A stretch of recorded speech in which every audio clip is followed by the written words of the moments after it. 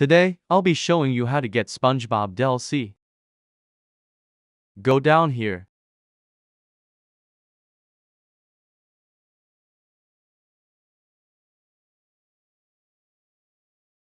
And then wait.